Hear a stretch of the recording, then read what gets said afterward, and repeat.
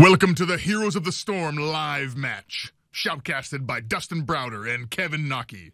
Your players are members of the Heroes of the Storm development team.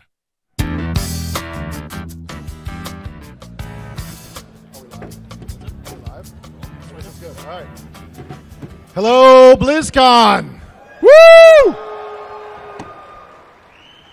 All right, I got a message for everyone who can hear my voice who's not already in this audience. If you can hear me right now, you need to be in Hall A. You are not in the right place. These people know. Come on, let them hear you. Tell them where you're at.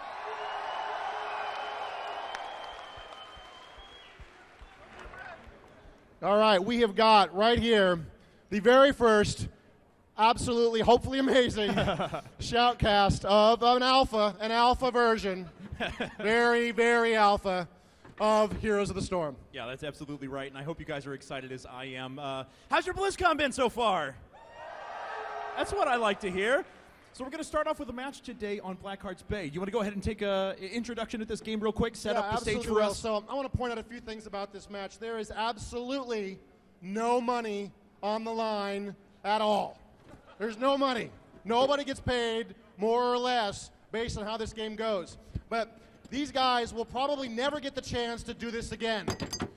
After this, we'll probably have pros doing this and all kinds of important people and all of these game developers. These are the designers on the game right here.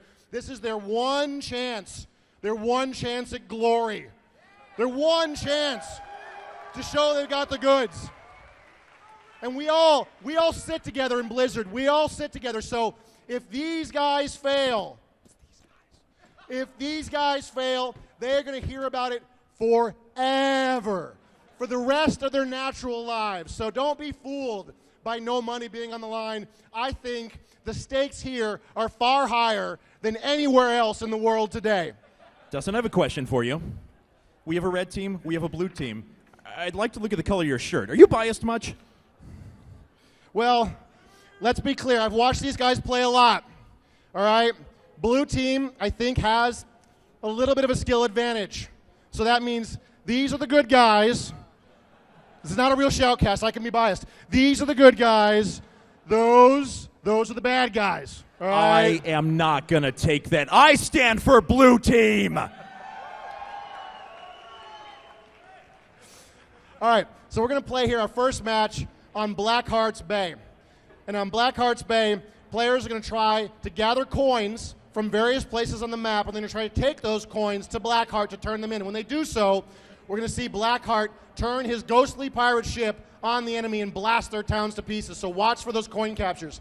Now, when you're carrying coins, when you're carrying coins, you can be killed, and the coins will go scatter. So then other players will come in and hoover them up and try to collect the coins. So watch for those attempts to collect those coins. Watch for what happens. It's absolutely vital that you deal with the coins and you fight, control, protect Blackheart so you can drop off those coins. That's right, and there are going to be other places where coins are dropped as well. Don't forget, of course, that we will have treasure chests that spawn all Yep. over the place. There's even minion camps that are going to drop some coins for you. So there's a lot of opportunities to fight around a lot of objectives, and that's going to be kind of the central point of a lot of these engagements.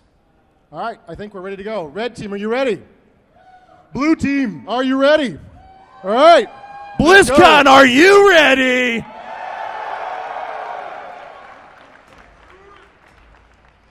That's all I get paid for is That to say good. that. No, Yeah, yeah. that was awesome. I can see the back of my head. That's pretty cool. Yeah. I'm really overdressed get right now because I just came off often. of Hearthstone. That's so awesome. All right.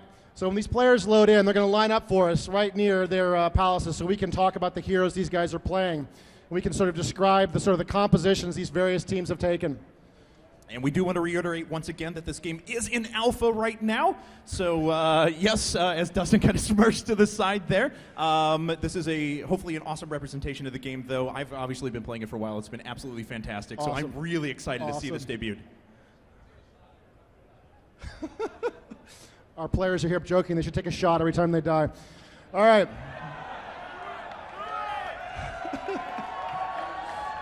All right, blue team is charging forward. We've got Raynor, we've got Tassadar, we've got Tyrael. Tyrael fighting next to his old buddy Diablo, and we have got uh, Falstad, the Griffin Rider. So this has got uh, they got a support here in Tassadar. They've got a couple of uh, They got an Assassin and two Warriors, both in Tyrael and in Diablo. That's absolutely mighty.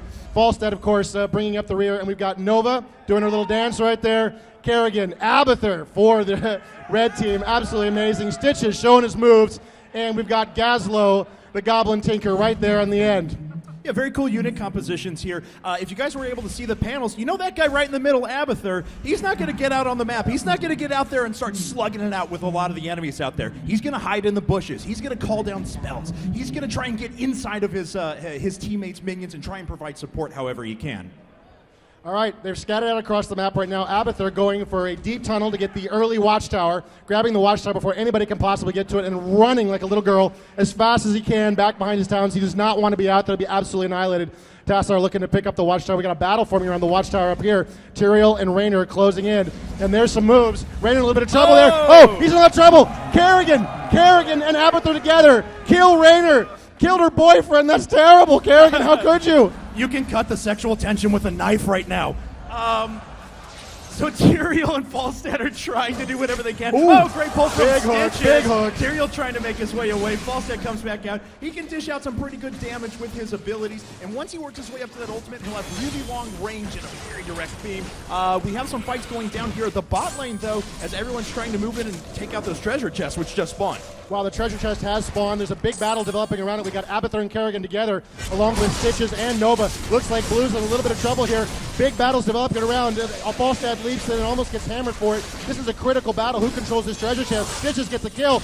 Red team picks up almost all of the coins and make I think all of the coins entirely. Blue team in a little bit of trouble here as they sort of dance away. It was a really smart move too because Abathur jumped there in on Kerrigan to be able to protect her while she takes damage, and that allowed Stitches to move down and grab those coins. Really smart objective control there from Red. Looks like Blue has picked up some coins there. Diablo's got some, and they're dropping off here as well. So you can see the coin totals up to the middle of the map. Right at the top of the screen, there's that little skull toying, and there's one to zero right now in favor of Blue. Big team fight here. Three on two developing around. Blackheart as they're trying to grab these coins. Watch when there's Abathur as well. So really, it's four on three. Tyrael goes down. If Tyrael gets to near somebody after he dies, he explodes. There's the explosion. Red team scattering away from Tyrael. Little interruptions there by Falstad. He's playing a little game with these guys, Yeah. trying to prevent them from dropping off those doubloons. As you just saw there from Tyrael, though, he has an ability that when he dies, he turns into a spirit form of himself that's actually able to move very slowly, admittedly, towards his enemies. And when that uh, time expires, it explodes and does uh, pretty good AoE damage. So we got five coins now, red for red team. Blue only with a single. Falstad in a little bit of trouble. Oh, wow! Oh! The hook! Can he get away? I don't know. And Abathur with the kill! That was Abathur's spike popping off of Kerrigan there that dropped him. And red team continuing to push hard on this position. They've got the coins. They've got a bit of advantage here in the midfield. They're doing very, very well at this point, driving back blue. Woo! All right. So this is uh, this has been fairly one-sided so far, I'll admit. Um, but let's see how this continues to develop. Now, a couple of things to point out here. There's a lot of pushing potential here for Red Team. They've dedicated to just Gazlowe in the bot, who drops down all these little turrets around, continues to pressure with damage, while Abathur is able to send Zerglings up the middle and support the rest of his team. Wow, Abathur playing a great move there. He jumps right into Nova. She got a little bit in trouble with Raynor, and that gave her a shield, which really protected from any follow-up attacks. There's Stitches grabbing the watchtower, and it looks like he's going to do so uncontested. It's a vital watchtower to watch between those two lanes. Whoever controls that watchtower can see what's going on. Raynor in trouble again. There's Oh! the hook. Oh! Stitches going off. Abathur hitting him. He gets Tyrael with the save. Unbelievable, and Raynor escapes. So what Tyrael just did there is he has an ability that actually puts a shield on his teammate and it absorbs the damage that the other team does to him and confers it onto Tyrael with a little bit of a debuff applied to it. So pretty good stuff there, Tyrael with a very clutch save as it looked like, uh, well, Falstad was all but dead. Right, so we're looking at the levels at the top of the screen. You can see the team levels on the left hand and right side of the screen. It's five for blue, six for red. A little bit of advantage to red here. The coins are now even at five to five for both teams as Stitches dances around here against Falstad Tyrael. All right, so I'm trying to see if anyone has any coins right now, and it looks like Kerrigan has a couple, and she could potentially make her way up to drop those off. As we mentioned before, once you get to 10 coins, Blackheart is going to start launching cannons out of that uh, uh, out of that ghost ship in the middle of the map and start putting pressure on towns. Wow, they're trying to grab a cramp there, but it got interrupted. Kerrigan with Abathur on her. She pulls everybody in.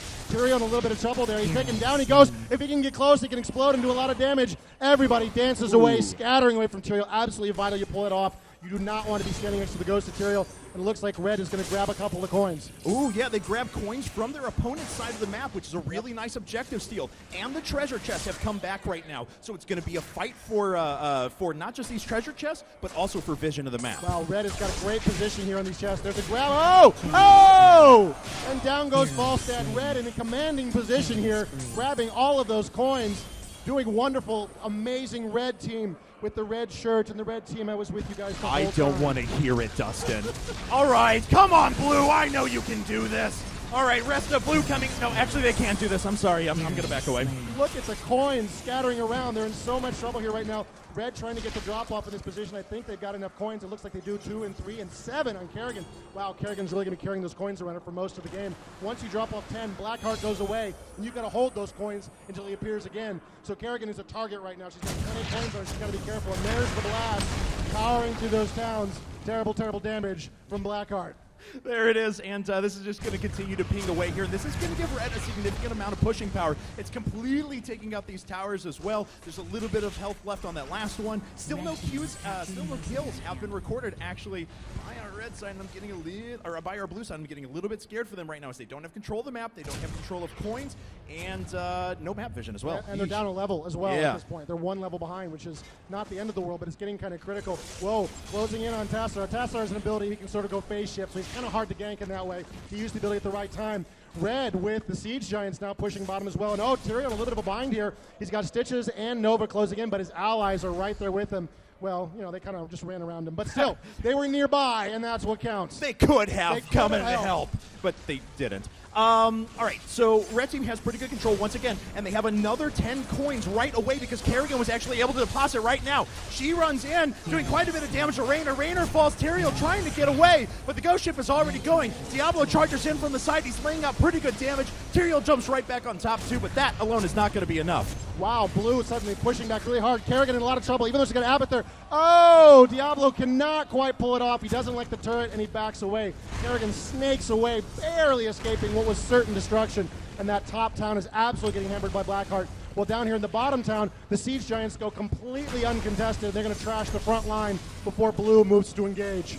Right, so that's two frontline sets of towers that are completely destroyed. No, all three now as the cannon continues to fire at this town here up at the top lane. So Red's doing a very nice job right now. They're up a level, but they're continuing to take objective control, and that's really key right now. All of these different groups of minions all have different abilities. Some drop coins, some are siege minions that push for your team in a particular lane. One, this Grave Golem that you just saw here up at the top, is an extremely powerful minion that has an ability to push down towns just by itself. Absolutely wonderful job there. That's exactly they're going for. This Grave Golems make a huge difference if they can grab it.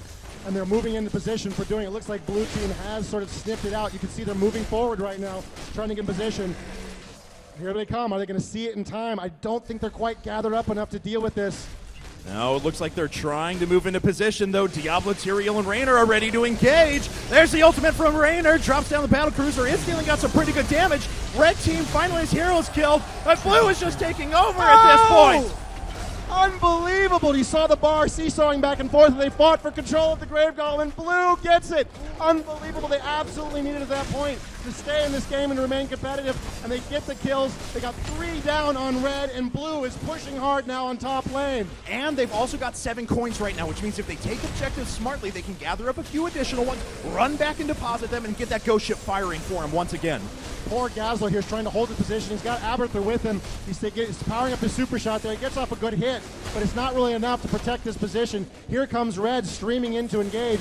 Let's see what they decide to do. We got Nova there up top. They drop the town. Blue playing it exactly right. It's going to scatter. Kerrigan closing in. Oh. Falstad triple tap on Falstad. Down he goes. And Red looking for some revenge for that destroyed top town are in hot pursuit. Raynor there with the skill shot, pushing back Kerrigan. All right, so that wasn't bad, and the Grave Golem is going to get neutralized now, but not before it did a significant amount of damage. And very importantly, we see that the, that level difference was completely made up. Blue now with a level advantage, 12 to 11. Yeah, huge turnaround, and there's the coin drop as well. Blue on the counterattack at this point, what looked like an absolutely crushing red victory was on its way. And suddenly blue is coming back. Blue, I was with you the whole time. You guys are awesome. That's- Dustin, you don't do you don't do you don't do that right now. All right, guys. Uh, so let's take a look at things. Ghost Ship is still firing. Looks like it just used the, the rest of its salvo there. That town is very nearly destroyed. It won't take much of an effort from Blue, especially if they can grab a good siege minion camp or something like that to continue pushing that town. And here goes Stitches trying to grab some coins here. He's in a safe enough position to attempt it. This is going to cost him some time in the lane, but I think it's absolutely worth it at this point. There's a couple of coins for him. And back towards the top, the treasure chest is spawned. It looks like Yasuo's having trouble controlling the position. Here comes uh, Diablo as well, and Nova. Wow, big fight developing here. Gazlowe in a little bit of trouble. Tries to dance away. Tyrael's going to drop him. There's Diablo dancing with Nova a little bit, and it looks like Blue is going to gain control of that treasure chest. Absolutely vital at this stage of the game. That was a great move by Tyrael. He actually used his ultimate to come in and charge and stun Gazlowe there for a little bit, then immediately followed it up with his Q, which actually plants a sword in the ground. Then if he uses his Q again, he can jump right back to it. So he was ensuring that he was doing damage the whole time. Really well played. Wow, and there's Kerrigan hiding out there in the smog, in the in the smoke right there. Nobody can see her hiding out right there. She's trying to look if she can pick up a kill. Nova's in there as well. Tyrael's sort of dancing around the position. It looks like Tyrael's going to come through safely. Oh, Kerrigan wants a piece of him. She closes in. Abathur jumping inside Tyrael. It's really three. Oh, wow, there's the ultimate from Raynor, calling down a blast from Falstad from below. Red is on the run. Unbelievable. Down goes one, and it looks like Kerrigan is in a lot of trouble. Oh, Kerrigan man. killing and Kerrigan killed by Raynor. The coins drop, and Blue pushing aggressively as Red runs for their lives. And they've actually got 10 coins right now between Diablo and Tyrael here. So once again, this ghost ship is going to be activated if Red can't prevent this drop, and it doesn't look like anyone is in position to do that. So the ghost ship is going to fire, and Blue just continues to build that advantage. All right, let's see if they can push uh, a couple of objectives on the back of this. This town's going to fall immediately. Bye bye. Fort goes down. Uh, that only took one shot, actually, so that's going to maximize the amount of damage that this uh, these cannon shots do. Wow, Blue pushing all over the place at this point. If you look at the top, Blue has the level advantage once again. Red had been so dominant early in the game, is really struggling to come back together. They have grabbed some Siege Giants there for Red, but really, this is not where they want to be fighting them. Blue is already in a commanding position. The Siege Giants are going to go down very quickly. It looks like they're going to lose in their town. Unbelievable. Tyrael drops. He's trying to close in to get an explosion to go off. Wow. Big hit on Nova. She's got to get out of there. Diablo on the hunt. Down goes Nova. Unbelievable. Two heroes down for Red as Blue pushes this bottom lane. And Stitches did activate his ultimate. That's that poison trail that you see behind him, and it's doing a lot of damage to Diablo and Falstad, and they really have to back out of there. Thankfully, they get away before too much damage is done, and Red can get back into lane. Yeah, that was absolutely the right move. They'd pushed as far as they were going to go there, and they're very close to losing a whole bunch of heroes. It is time to go. They've made their point. Now they got to get out. Oh, and the Hearthstone back right to the base, and unfortunately, that charge from skill Gazlowe, shot from Gazlowe. just, Just goes off and hits nothing. Take one of those. You can see the uh, tumors there being spawned by Abathur. That gives him vision of that location. Anybody who steps on those will take some additional damage. So it's a great way for Abathur to get a little bit of map control. Abathur right now, you can see that green shield was briefly there watching over Stitches as he, Stitches was moving the map. Stitches again going for the uh, creep camp in the other team's half. Absolutely bold and brave move. Yeah, but I really like it. Um, this in the early part of this game when Red did have a pretty good advantage, that's what they were capitalizing on. They were jumping in, stealing their opponent's minion caps, keeping pressure up all across on the back of Abathur's shields. Uh, but unfortunately, they haven't been able to get that game plan off because they've lost every team fight since. Yeah, it was exactly the right here to do it with two stitches. Is really tough. He's very hard to sort of close in and kill. Oh, Nova trying to drop off two coins, doesn't quite pull it off. She's in a lot of trouble. That's not her happy place. Abathur jumps in and tries to bail her out, but it's not nearly enough. Blue driving red back, gaining control of uh, the, uh, the black of Blackheart there. And it looks like they're going to drop off another five coins, taking five to four. Yeah, so once again, a majority of the coins held, and another set of uh, shots from that ghost ship is going to push down at least one more town. I'd say two, honestly, at this point. And with those siege minions that Blue has down at the bot, it's going to force Red to react. But you see, they're all out of position. Everyone from Red is trying to take these minion camps so they can continue pushing themselves. Has captured a mercenary. That's a pretty critical camp they just grabbed right there. You can push with those. There's an aura around them. You can see the aura that actually buffs uh, all of your allies, including your heroes. It's a very powerful way to push. Let's see if Red can capitalize if they're going to be distracted and have to deal with something else. Blue pushing here towards the bottom of his position, trying to pull Red away from those guys' stitches. Just taking a fishing hook in there to see what he could grab. I got to hand it to Abathur, though, sitting there in top lane. He's just pushing Zerglings all day long. He's, he's trying to get those towns down, and he's doing an effective job of it. Uh, Red is actually making a very nice push here, uh, but the problem is, is that Blue in the bot lane has almost moved entirely into the uh, into their opponent's base. You can see the level difference is getting a little bit scary here at 17 for blue and only 15 for red. This is critical. They've got to win the next team fight, or they've got to spread out sufficient they can start collecting more experience. There's some Siege Giants pushing in the bottom position right there. Red's going to take them out. Blue, though, is absolutely in a commanding position. Let's see what they can do with it. Another blast from Blackheart, and that town is almost gone. Yeah, they're about to the point where they can start pushing directly through mid, just take down that town, and then move through and start attacking the core directly. But now, Blue Team has put themselves in another good position to move up and try and recapture that Grave Golem. If they go after that, they're going to have plenty of pressure in the other lanes on the back of Siege minions and such that they'll be able to push through and at least kill a town. Oh, Kerrigan just jumps straight in and gets obliterated. Oh, unbelievable. Three heroes down already for red. Blue in a commanding position. They're going to be able to grab that Grave Golem and go ahead by the advantage. Only got Abathur and Stitches are the only people left on the field that could even do anything at this point. And you can see at this level, it's level 17, how quickly that Grave Golem is going to drop. That's absolutely right. Stitches is just kind of running around mid lane right now, fighting back waves of minions, but uh, he's kind of a man without a home, to be honest. He's going after mercenary camps, but there's not much else to do what right else now. Is he going to be doing at this point? He's getting some experience points for his team, trying to catch up, and this is this is the moment. Blues uh, got a little bit of damage there, but not enough to really matter. And they're going to start pushing in at this top lane. This could be the decisive move of the game right here. They could ride that Grave Golem like a pony all the way to victory. All right, here comes Blue. And uh, Abathur, bless his heart, he's pushing away in bot lane, but unfortunately it's not going to end up doing too much. He's going to have to teleport back. He's going to have to, to support his teammates here in just a second because that Grave Golem is powerful and this town is about to fall. He is absolutely coming. Red gathering up. They got enough heroes in play. They can do something. Can they possibly oh! kill? Diablo drops. Absolutely critical kill them for this point. Can they pick off anybody else? The Grave Golem going to town on that position. Gazlowe just spamming the turrets as much as he possibly can. And Blue, not liking the look of things, is going to back away. Giving Red a little bit of chance to recover. Tyrael was tanky there, but Diablo was their most tanky person. So once he went down, they didn't have a lot of frontline power to be able to stand and engage against the power of the towns, uh, the the, uh, the actual towers themselves. Abathur continues to push down here too. And the nice thing about Abathur is that he's continuing to absorb experience for his team down there, continuing to push lanes and making sure that his team doesn't fall too far out of this. Abathur just soloed that bottom lane pretty much all by himself, using his Zerglings and a talent that buffed them. Oh, here comes Blackheart blasting away. Oh my goodness. Oh, what a tragedy. Red loses another time Ooh. to that position.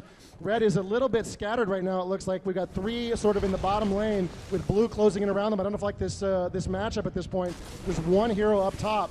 Blue is going to grab, uh, oh, red, a little fishing attempt there from Stitches at that camp. Doesn't get anything. Right, that was a line of sight blocker, so Stitches didn't know that he was about to walk into his impending doom, so right. thankfully he turned away. Even the grab would have been enough of an initiation that he probably would have ended up falling. But I think this is now 4 to 1 ghost ships in favor of uh, Blue at the moment, and they are starting to run away with objective control. That experience just keeps getting pushed up. There's another fort, and I think we only have one fort remaining now. Yes, indeed for red team. You know, at this point, the next uh, the next grab of Blackheart could be the deciding factor at this point. Stitch is just pitching like crazy, hoping to catch somebody. He doesn't really want to close across that line. Oh wow! And here comes another blast. This is going to be absolutely ferocious. This is actually attacking oh, blue oh, team, right. though. Totally yeah, is. red was able to actually get in and finally drop off some coins. So Abathur's pushing in the top, and he's actually got quite a minion wave going there to deal some damage out. Blue is going to concentrate all their efforts on bot lane, though, and try and take out that remaining fort. Wow, this is look really tough here in the bottom lane. Red is in position to try to defend, but they got a lot of forces in the area. Remember, the cannonballs are blasting away at blue. Red making or blue making a big push down here. It looks like, oh wow, big hits going on. Everybody's in total position. Oh, and there's the Hyperion blasting away. Those top two towers absolutely going to go down. Huge charge forward. Oh. Diablo getting very frisky there. Abathur right on the position with Stitches. He's going to drop. Absolutely down he goes. Oh, wait, no, he's still up. Yeah, Diablo and Tyrael both tried to move in there, and they're both going to die as a result. Tyrael falls as well. Can he get close enough to Stitches? Stitches tried to use the fountain to oh, heal back up, but it wasn't enough, and he ends up dying. Wow, that's a huge turn at this point. Look at that. We got three heroes down for blue. Four heroes Four. down for blue. Only one down for red. This is what they need to get back in this game. The level difference is evened out at 19 to 18. They got to do it more. Red is feeling, I can hear these guys over here. They're going, go, go, go. They're really feeling they've got a position, and they're going to try to do something here. It looks like, see where they're headed. No, no, they don't have to do anything. Tell them to stop. Tell them to stop, Dustin. Uh, Core is actually under attack, so they had to retreat momentarily just to be able to clear out the minions that were pressuring in. They're trying to move back out, establish objective control, deposit some more coins so they can keep that ghost ship firing, because that is what's really going to bring them back. They've already brought this level gap, though, down to just one. Yeah, that's absolutely amazing. And Abathur at top is just a one-man army up there. Look at him. He's got all these Zerglings, all these locusts spawning. He's creating all of this trouble, and he continues to push that position while at the same time he's absolutely helping his teammates by jumping in and infesting them. There's the infestation right there on Gazlowe. You can barely see it as he comes onto the screen. And boy, they've got enough coins yes, they do. drop. Yes, they do. And the forts are starting to fall for blue. They've been at three for a while, but now they're all significantly weakened. One more series of shots here from the Ghost Ship probably will take down not just one, but maybe even two. Yeah, it's quite possible. I got to tell you, these guys are absolutely playing their heart out right now. Everybody really wants to win this game. They're really, really pushing themselves. A lot of our practice games weren't nearly this close. Wow, another blast. That one's definitely going down. Unbelievable. They managed to come back into this game and really put themselves in a position where they could still absolutely come back. They could totally win this game right now. No, Blue's got it. Let's hear the Blue supporters out there. That's what I like. Oh wow, that's that's weaker than last time. I'm actually kind of scared now. Oh boy. Oh boy. Red gathering up there, it looks like in the middle lane, looking for a team fight that they can win. They want to win this one. Tyrael jumping forward right there, getting off the hit. There's another charge in from Diablo. Abathur in position. Oh, wow, the ultimate's firing off left and right as uh, Red sort of scatters away. They're a little bit divided now. They're in different locations. Everybody's a little bit wounded.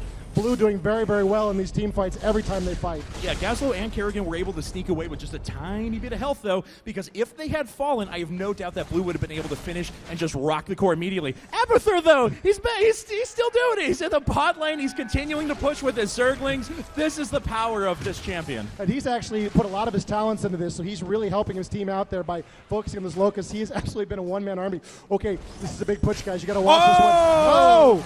Oh! Oh! Absolutely critical kill. Kerrigan in a little bit of trouble. She's going to dance away back to home base so she can get healed up. Oh! Oh, Kerrigan falls as well. Tassadar, no, he gets away. I can't believe it. Oh, wow, there's pursuit there in the backfield. Falstad still trying to do some damage here. Oh, down goes Tassadar. And Blue suddenly in trouble with two heroes down. Still two heroes down for Red. The death timers at this point getting very, very lengthy as they tried to push against the Red core, and they are ultimately once again driven back. Now, this is a very important point. It's level 20 to level 19. Level 20 is when you get the Hero of the Storm powers. These powers are incredibly dangerous. This is a break point. They can get something done now. They can absolutely win this game. Oh, Stitch is in a lot of trouble. He's getting away. Tyrael going in for the battle. Oh, my goodness. Dropped. Yeah, another great ultimate from Tyrael once again. And at the same time, he drops his shield on Raynor, and Raynor's not taking any damage. Tyrael's taking it all. Three members down for red, two members down for blue. Hyperion comes in one more time. There's the core. Oh! Well, that was a fun game.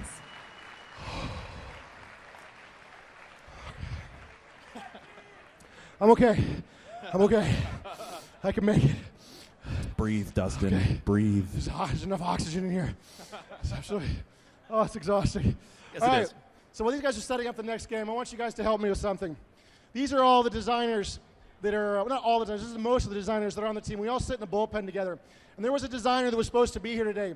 Kent-Erik Hagman was supposed to be here today. This is one of the designers that helped make a lot of these maps that you guys are here playing at BlizzCon today. Kent had a fairly painful bicycle accident and he broke his arm and so he was unable to come here and play today and we are missing kent absolutely severely could you guys do me a favor and give a big round of applause for kent eric hagman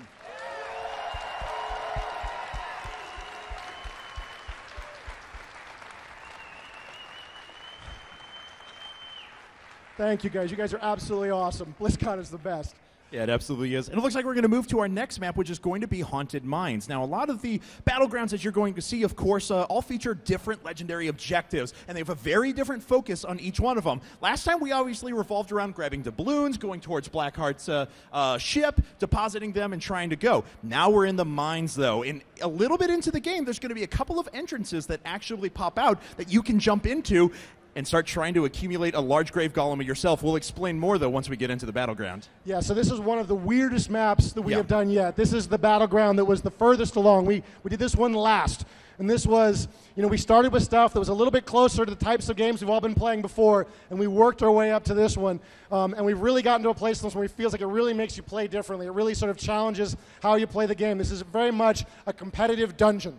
You're going to go deep underground. You're going to be looking to collect skulls from skeletons, and the other team is down there as well. So while you're dealing with all of the monsters down there, you're also dealing with all the other sneaky guys coming up behind you, trying to get in your way and wipe you out. Now, most of the monsters you're going to find here, most of the skeletons, they're not too challenging. They're mostly there to drain away your resources and distract you. But there is a Grave Golem down there that is sort of a boss encounter. And that guy's a lot more serious. You need a group of players to deal with that Grave Golem, and that's usually when the other team sneaks up behind you and either tries to steal, steal the skulls or tries to stab you in the back while you're trying to fight the monster. That's absolutely right. So every minion that you fight in the mines drops skulls, and when that grave golem is finally toppled, the uh, the golems that spawn for each team are proportional in strength to the amount of skulls that you gathered. So if one team gathers 75 skulls, the other team uh, gathers 25. Well, the team with 75 is going to do a lot more damage with their grave golem. And then you have a really difficult choice. Do you want to protect your golem?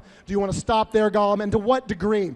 And you really see these teams are trying to put together a strategy in about three or four seconds, really, once they come back to the surface. Who's going to go where? Who's going to deal with what? What's the other team going to do? What are their compositions going to be in each of the lanes? So they're going to try to figure it out very quickly to make the right move. And it can be very challenging to get that right, but the team that does that is going to have a huge, huge advantage. That's right. So, as Dustin is suggesting, you have to split your attention between both levels as well. Because don't forget, the primary objective remains the same. You still are trying to take out your opponent's forts and thus their, their core. But the problem is, is that if you focus too much time in one area, you give up big disadvantages in the other. So, you really have to split your difference. So, the other sort of last little tidbit that's vital on this map is when that grave golem goes down, he will spawn wherever he died. That's right. So, that means you really want to drop this guy well away from your base if possible. As soon as you can kill him, that's more time you have when the Grave Golem spawns again. And if you let it go, if you let him get really close, and you'll see scenarios in this map sometimes where you'll have a Grave Golem right next to the palace for each of the teams. And we know that next Grave Golem, whoever gets the biggest one, actually, even if you don't, we've almost had base right. races on this map. Yeah, absolutely. whoever gets the biggest Grave Golem at that point is totally going to dominate. And then there's sometimes at the very end of the game, there's some shenanigans where maybe we're going to let you get the Golem because we think while you're down there in the mines, you're messing around with golems, maybe we can push the top lane and we can get something done to the bottom lane or whatever it is. And so you'll see teams make a strategic choice sometimes to completely ignore the objective and just focus on what they can get done up top. And if they don't, if they don't get it done, suddenly they're really going to suffer when that golem appears. And the Grave Golem isn't the only objective that you're taking on this map, too. There are plenty of camps of minions that you can use to start pushing for your team, the siege minions that we had talked about before, and different various camps that you can take to help pushing on top. So you really have to split your focus there, too. Yeah, it's only a two lane map, but there's still a lot of attention to be focused. All right, so these teams are gathered up here and they are ready to go. Whew. I think I could survive one more, maybe. I think we're going to see a blue 2 0. that would be amazing. I'm not liking what I'm hearing here. Where are my blue supporters at? See, see, like Come when on, Red! Let them hear you!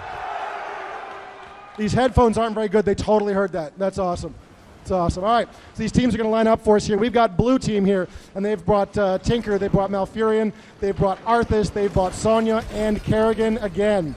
Looking good there for blue team. That's a couple of warriors, a support, a DPS, and a siege hero in position. On the other side of the map, we've got red with Uther. We've got the Witch Doctor Nazeebo. We've got ETC doing a little jig. We've got Illidan, the Betrayer, and we've got another Demon Hunter. Two Demon Hunters side by side here for red team. All right. Well, we'll see what uh, this team composition is kind of interesting though because we've got a siege minion here, or sorry, a siege hero here in Nazeebo that's going to be able to aggressively push down objectives very efficiently. But we have two huge damage dealers in Valla and Illidan. Yeah, Valla is absolutely ferocious. She's my hero of choice these days when not playing as Nova. She can be so aggressive. She can just absolutely sustain in a lane like you wouldn't believe. Her whirlwind ability allows her to leech life from enemy minions, and she can really just, she's very tenacious, she's very tough. And I'll add as well, because she's Fury based, she doesn't have to expend a lot of energy killing things with an area effect ability like Fury. She can be in the mine. She's a great hero for this map.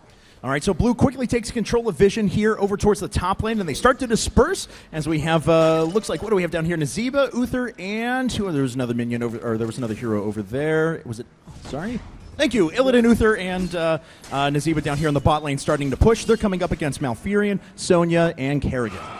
All right, here in the top lane, it looks like it's a pretty even fight between all of these heroes. Oh wow, there's a big push down there in the bottom lane, or excuse me, yeah, in the in the bottom lane, they're pushing him back. Red's not doing too well here. Blue is uh, absolutely in a good position, driving back Red. They want to maintain control of that mine entrance. You can see it right there next to the train tracks. You want to maintain control of that so you can be first down in the mines, and then when the enemy comes down, you can sometimes get off a couple of easy hits before they manage to escape. That's right. It does take a couple of seconds for you to pop down into the mines, and it's pretty clear that you can see uh, when uh, uh, heroes are starting to move down there. ETC jumps in, does a little bit of dispersion, not able to get in that much damage though. Uh, Arthas coming right back with a bit of stun for his own. Valla gets in some damage, but Arthas is quickly given a little shield. Yeah, ETC can be fairly fearless in this kind of situation. He's got a lot of mobility powers, and he's in a position. Go, oh wow, good hook there from Kerrigan, pulling in both both characters. Uther in a little bit of trouble here. He's one of the hardest heroes in the game to kill, honestly. Even as a support, his self heals really keep him in the game. So you want to go for Uther in some ways, but in some ways you kind of don't. Yeah. In some ways he's very difficult to drop, and you can end up wasting a lot of damage just trying to drop him while he sort of walks away and heals himself back up to full. And that is the most frustrating thing I've had playing this game so far. Yes, I'm going to kill Uther. No, No, he walks no, away not. for the 400th time in a row. We have heroes, you know, support heroes like Malfurion, much more vulnerable, much Right. more fragile, can totally be dropped. Uther hiding out there in the bushes. That's Kerrigan doesn't like she, she's going to go in there. Yeah, she's going to risk it. Uther just sort of dancing away. Malfurion trying to get the grab on Uther doesn't manage to do it. All right, so let's take a look here at the top lane as well, as it looks like that uh, the engagements had kind of settled for a while. ETC does manage to heal himself back up. Uh, Valla actually only sitting around at half health, and ETC is going to start uh, transitioning down to try and take vision. But the problem is because Blue already knew about that, Arthas comes right in and just whacks him over the head with a sword. That was quite a windup for Arthas. Pop there, just lining him up for the shot. ETC does maintain control of the watchtower. You can see Gazlowe's feeling like the mines are about to open. You can see the timer there at the top of the map indicating to all of these players that the mines will open in another 24 seconds. This gives everybody time to sort of figure out what they want to do. Blue, it looks to me like reasonably good control of the mine entrances. Yes. Not, not commanding, not commanding, but still good position, and they're in a pretty happy place. Sonya just hanging down in their bushes now, waiting for some damage to do. ETC in a little bit of trouble here, as it looks like three heroes closing in for the kill. He uses his mobility to escape. Valla vaulting away. Blue gaining the position. Red scattering away. So, two interesting things happening right now. The mines are open, and our teams can actually have entrance to those. Red actually backed off and tried to take minions to get to push because they knew that Blue had control of the mines. But with that uh, rotation down from ETC and Valla, it gave some pressure in the bot lane to allow. Oh, Arthas Just just snagging away. kill. Wow, and what a bloodbath they come into. It looks like Demon Hunter Valla's in a lot of trouble right there. Down she goes. One hero down for Red already. Is spinning in circles, damaging everyone she get her hands on.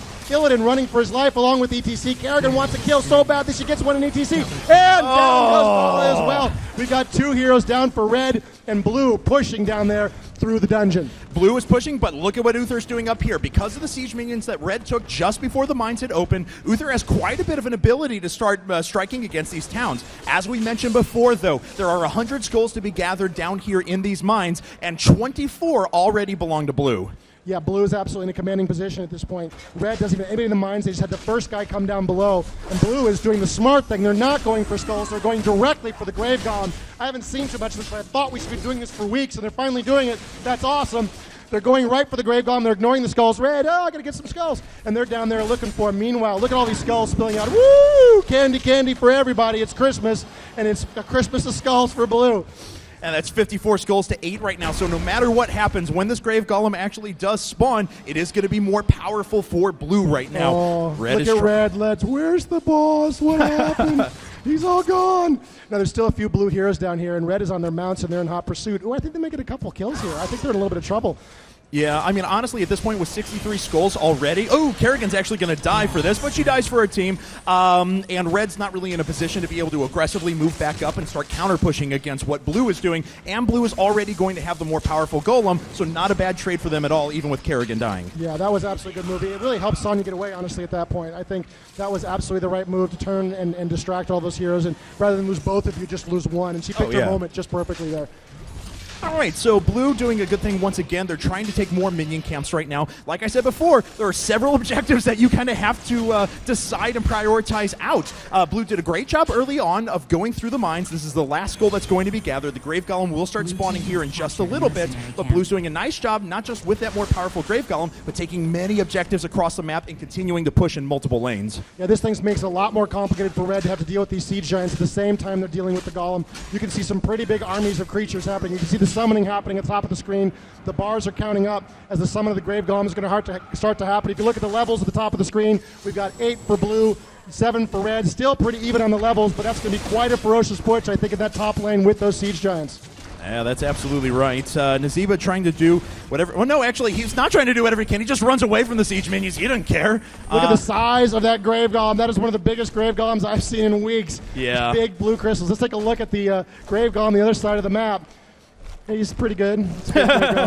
It's, it's no, uh, nothing wrong with that grave golem. That is that is yeah. a good looking grave golem right there. I think I think I think the blue golem is trying to overcompensate for something. I'm not sure. um, all right, so this is a full five man push with a grave golem down here for blue. So he's actually going to get in there and start tanking these towers, and he just doesn't care.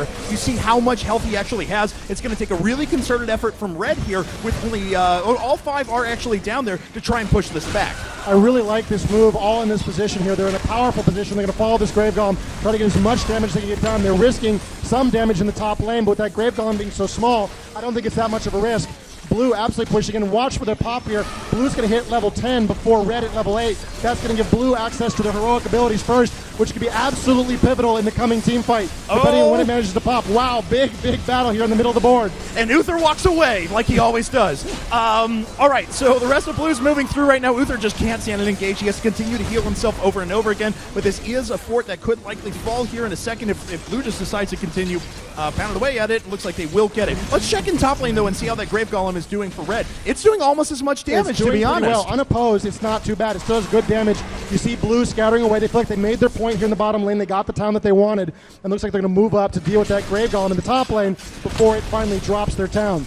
Yeah, to be totally honest, that wa- that wasn't as bad for Red as that could have been. You know, um, they're able to gain quite a bit here. They they, they wreck the, the, the front of the town. Both the towers gone. The gate is gone. The healing well is gone, and now we're just left with the uh, the actual fort itself. Yeah, I really like that choice by uh, by Blue to push it as far as they did and then move off. And there's another camp grabbed by Red and another. It looks like that's really really great move by these guys. Very aggressive considering their position. I like this response when they're down uh, two levels. Okay, but Blue's going to come charging in, and are they going to be able to disrupt this? It doesn't look like it. Ooh, Castle actually just waiting in the bushes, Ooh. and Valla sneaks on by. Will Arthas oh. have enough oh! stun? There's the oh. oh, Castle does some damage. Oh. Sonya comes back in for the kill. There we have it. Oh, Valla just melts. Oh my goodness, this is a horrible, horrible moment. There's Kerrigan's in a little bit of trouble. She pops her heroic ability. Malfurion popping his heroic ability. Everybody having a big battle here right around this king camp. Oh, wow, and there's a great move by Witch Doctor, channeling that, uh, that ultimate into that position in red. A little bit of trouble here, trying to dance away. It was kind of a weird place for everybody to decide to die. And a great jump happen. in by Sonya right there. She actually stuns up uh, both Nazeebo and Uther, but Uther walks away again. Never mind, I'm sorry. He's totally fine. It's not a problem. oh, Uther. Um, all right, so it's a two-level advantage now for Blue, and uh, you know, I mean, once those mines come back up again, there's going to be some serious contention down there. And honestly, I, I think Red almost has to make a gambit and just go for that Grave Golem right now. They're they're they're losing quite a bit up top. They've not had any success there. They've got to split Blue's attention. Whoa! There's Illidan going for the kill. Oh! oh! And he skates away in the dungeon. Illidan wants blood. Here he goes. He's in hot pursuit. I don't think Gazlowe can escape from Illidan. Wonderful, wonderful move. He attempts to use the uh, dungeon that juke away, but it doesn't save him. All right, so red now is uh, in the mines, but blue is using this as an opportunity to try and move back in. ETC just jumps right in and ults on top of everyone. Blue members falling all over the place, and red is making a big stand. Whoa, blue, Sonya trying to get away, just spinning away, trying to escape. She's in pursuit by another another Diablo character in pursuit. The Demon Hunter's chasing her down. Meanwhile, it looks like Arthas is a little bit of trouble there.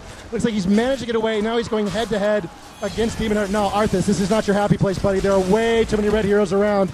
Good move, and there's the kill from Demon Hunter. All right, so let's see if Red is actually just hightailing it for the mines right now. They've got a few seconds before most of the members of Red come back up, but he, or, I'm sorry, the Blue hmm. come back up. But here's the problem for Red: they've got a few members that are pretty low yeah, in health right now. Really this is up. a risky maneuver to try and gather these skulls.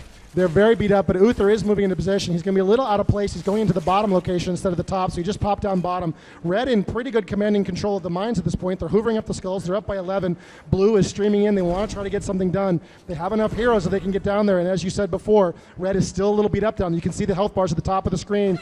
Valla is a little bit hurt. ETC is a little bit hurt. Uh, Illidan is a little bit hurt. This is not their happy place for what is inevitably going to be a game-turning battle in these mines. Yeah, and if they were going to come down here, they had to gather a majority of those skulls right now. They've come close. They're already at 42 right now, but we'll see if they can get the rest. Okay, blue gathering up. Oh man, you can see the battle developing on that mini map around that boss. The last blue hero is finally coming down. Everybody's gathered in position. Oh wow! Oh, a very interesting maneuver right there. And we won't say anything Everything else is about normal. it apparently. These headphones aren't that good. We got to pretend. No, I understand. So, so yeah. So blue in, in position out here. Red has decided they've got enough that they've evened up the battle and they can get more done up top. I love this move. They've absolutely played it correctly. It's basically going to be even in skulls no matter what happens at this point. That's right. So they gained a good advantage. They got out with all of their damaged heroes. They could potentially even move back in and try and take a couple more skulls. Now looks like they're just going to take minion camps. I love this actually Oh, this is so because they're good. continuing to press their advantage. The the uh, uh, grave golems are going to spawn here in just a second, but there's still a few minions to actually kill down here. There we go. Finally, all the skulls are gathered, but red is pushing pretty aggressively up top. I love that move because they weren't confident they could win the team Right. fight. They were very beat up. They knew that team fight would develop in the time it took them to gather that grave golem. So they just bailed out. They said, "We got what we need. Let's see what we can get done up top and let them fool around down here, just trying to be even with us." Yep, that's- absolutely amazing move. So fun. And you remember what we said before? The Grave Golem spawns in the place where it died, and they are summoning right now. As you can see, Right. Red just gathering around that blue Grave Golem. They're not going to let that go anywhere. Yeah, they've really got to be on top of that. This isn't a position they're not happy. There's a lot of shenanigans. They're just going to fight it to the death. Grave Golem popping up. It is a big looking Grave Golem at this point. Moving forward, red powering through that. Be fast. Let's look at the top lane and see what's going on. There's Siege Giants up there as well, and Gazlowe trying to hold off this Grave Golem as he's pushing in towards this uh, this very damaged town. Yeah, and it looks like this fort is going to fall, so at least the Grave Golem is going to do some damage there. And this actually ends up being okay for red because the Grave Golem for blue uh, had already gone through a fort before and is now trying to just uh, go against these turrets, but can't actually get anything done. So this effectively ties things up. Look at the levels. Look at the levels. They're right back in it. This was where they were behind, and they're right back in this game because of those moves they did earlier in the mines. Red, it looks like, is making a serious effort towards the bottom position, while Blue is still trying to deal with this Grave Golem up top. And looks like just one more hit. Oh! Oh, Grave Golem bad. doesn't get it. That turret will stand for the time being, at least. While Blue is pushing along here at the top, I think they're going to get this one with the Siege Giants in support. I don't think there's anything Red can do. Red is scattered. They're down towards the bottom. They are grouping up and they are closing in. This looks like this could get ugly up here in this top position. Let's see if Blue sticks with it. If Blue gets their heels dug in here, this could be quite a battle. They're gathering in the bushes. They're And here comes come. here comes Uther, the man who doesn't die. ETC jumps right in, and immediately someone from Blue is just destroyed. Valla goes down right away as well. Uh, and the, the Nazeebo ultimate here has actually been doing a pretty decent job of being able to zone out Blue for the majority of this fight. But in the end, we've had a two for two. Nazeebo trying to get away. He finally ends up falling. Wow, huge, huge battle. Three heroes down on both teams. Uther actually in trouble a little bit there. He's a little low on health. ETC trying to get away. He doesn't Oh. manage it. Uther, oh, he's fine. He's fine. Oh yeah, no. Uther walks away. Uh, so, Arth, I, honestly, with that principle, he should just jump straight into the middle of them because they can't do anything to him. oh, can he do oh, it? Oh! No! Uther walks away again. walks Oh! Oh, unbelievable. unbelievable. oh, I love it. I love it. Uther just shakes his face. And all logic, I walk away. unbelievable. Can we make that his tagline? I, walk, walk away. We should, we'll put that in the audio next week. Just a minute he survives. I walk away. It is away. Blue grabbing a camp here. Good move by Blue. Still very even on the levels. Blue with an advantage there briefly in that top lane, but they held it. Yep, Luther absolutely held that position, and they didn't get what they needed out of that. Boy, right. that Grave Golem is frighteningly close there, isn't it? Yes, That's going to it be a scary is. one. This next camp, and here we go. Nine seconds, eight seconds left. Red already going below. Blue trying to move into position where they can go below. It looks like they're all going to go into the same entrance at this point. Yeah, and sometimes you'll see teams set up a little ambush there, but it doesn't look like they're going to do that. Uh, oh, Nazeebo gets caught out. Nazeebo doing a lot of damage, though, uh, and that actually may prevent Gazlowe from being able to jump down into the mines. But Blue is actually going to take the opportunity. They're giving up the skulls underneath for now, and they're just trying to push for objectives. Wow, Blue thinks they can get it done. I, I like this strategy. This is fasting, and Red sensing the danger, sending some people home. They've got a couple guys coming back, including ETC, going to try to punish them for this move while they keep some guys below. Good division of the team. ETC using his mosh pit ability right there to cause everybody to dance. He gets a little bit of time. The town does go down. Uther saves ETC with his ultimate ability. Three heroes up top trying to fight off this massive push from blue. Red scattering back a little bit, but they are of slowing down this position. Uther, you're fine. Don't worry about it, buddy. You can make it. Yeah, he gets tickled by Kerrigan a couple of times, but ultimately he'll be all right. A fort does fall, though, and that means there's only one fort remaining for Red. Blue has done a very nice job of aggressively pushing these objectives. Uh, they are down on skulls right now because um, only 27 to 0, but Red was forced to pull everyone back. No! Uther! Why? Why? and Red pushing back at this point, scattering blue away. There's like another kill. Whoa! Great move by Sonya. She jumps in. ETC manages. Oh, I don't know. Oh! Oh! Down she goes. Red in great position here. Oh! What a shot from Gazlowe from the side. He may end up paying for this. No, Valla can't get close enough. Nazeebo can't stun her either. And uh, looks like uh, Gazlowe's just going to walk away. Siege Well- Minion pushing down here in Yep. bot. Yeah, that's that's kind of a problem. They got really nothing to contest at this point. The Siege Giants doing some damage down there. Down in the mines below, everybody's just completely abandoned them at this point to try to deal with that giant battle. Gazlowe a little bit hurt here. Ooh, he's feeling a little frisky not to be going back to heal up at one of those healing wells, he's going to move towards the bottom lane. Red sending a hero down below to try to collect some of those skulls. And it looks like he's just going to rely on Malfurion down there to give him a little That bit of support. So, yeah, not too bad. Uh, they are going to take this mercenary camp though, which is a very cool maneuver because Blue has so much pressure everywhere. If they can successfully take this and then get back, uh, heal themselves up, be ready to re-engage in a bit, Blue is still going to have a significant amount of pressure. I do want to say though, I think that it's Malfurion that actually jumped down into the mines. Oh no, I'm sorry, Nazeebo down to the mines down beneath, and he is starting to uh, push these back and start to gather some skulls. That's a really good team. choice to send Nazeebo Yeah. down. You know, he can't do as much up top. He is one of our sort of classic siege style heroes we've started to put into the specialist category. Right. And Nazeebo has a lot of AoEs and a lot of ability to deal with uh, with those minions. All right. Well, Red's pushing pretty aggressively down here, and uh, as we see, it's 49 skulls to zero in the mines. So all Red has to do right now is hold on, and if they take out Gazlowe on top of this, that would be fantastic. But it looks like he's going to sneak away. Yeah, really well done. Oh, big fight developing. here. Kerrigan getting the hook going in. Valla dancing away. ETC moving away. They do manage to grab those those siege giants. Oh, Sonya Oh. jumps right on top, but Valla still manages to sneak away. ETC jumps in there, doing some pretty good damage. Oh. Malfurion ends up dying. Wow, what a battle. Valla is really in trouble there. She can't take any more hits, but she's got to stay and try to help her team. Red scattering from what looks like a certain blue victory. Another hero goes Oh, down. and the Nazeebo ult pops in, but it immediately gets stunned. And almost everyone is down for red. Just Valla remaining. She's got to heal back up, but her against four members of blue, I don't know if that's going to be enough. Oh, this is looking really bad. That is the palace. They're on it. There's not enough to protect it. I think they just need to right click it, and they will absolutely get it. They're beating away Oh. on it. Right click, right click the palace. You can do it. Kerrigan's in a lot of trouble. She's dancing away. Valla, look, Valla wants to kill her so bad. She wants to get the kill. Oh, but can't quite grab it. Oh! Arthas comes right back in. Oh! Valla sneaks away with her uh, vault, though, and she stays alive, but this core is getting very low. Oh, Valla really driving them back all by herself at this point. Oh, Arthas is a little bit out of position. Arthas, look out, buddy! Oh! Down he goes. And Arthas gets off one more shot. That core is exposed, but it looks like uh, no one is sitting Everybody's down there dead. in the mines. Everybody is dead. Okay, let's look down in bot lane real quick, if you don't mind. So it looks like we have some siege minions push, pushing. This is actually pretty effective for Red. They've actually been gaining some pretty good experience while this has been going. They've been pushing downtowns pretty effectively. It's two forts to one at the moment, but Malfurion's coming in to stop that. Wow, and red is all back up, and blue is still down. Look at those death timers at the top of the screen. That is absolutely huge.